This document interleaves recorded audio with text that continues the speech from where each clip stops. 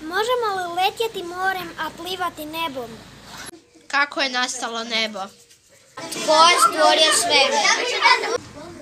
Je li svemir ima kraja? Tko je obojao svemir? Da li je svemir beskonačan? Zašto žutom bojicom bojamo sunce?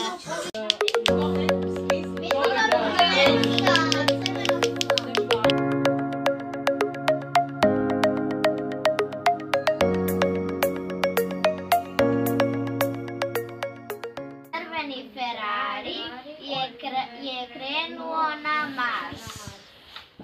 Jednoga dana malo žuto sunce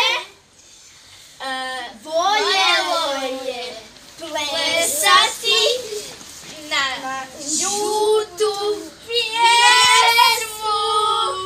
Zelena priča. Jednoga dana skakavac je skakutao po travi. Došao je čarobnjak i začarao cijeli svijet u ljubičasto boju. Ova slikovnica Pepita, e, ta slikovnica je najbolja na svijetu. Pročitajte ju u e, knjižnici Voltino, možete ju tamo naći. Ova slikovnica je jako zanimljiva, a čak iz te slikovnice možemo i sami sebi postaviti pitanja. bilo je pitanje kako nastaju oblaci.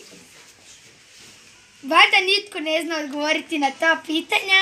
Kako su nastale zgrade, a moj tata nije znao odgovoriti iz nekog razloga. I pitala sam ga kako je nastao posao i na to mi nije znao odgovoriti. Imate ju tu u knjižnici Voltino i još par jako zanimljivih knjiga. Pa ako želite dođite i pročitajte ih. I moram vam preporučiti da je pročitate. Čiča, miča, gotova je priča.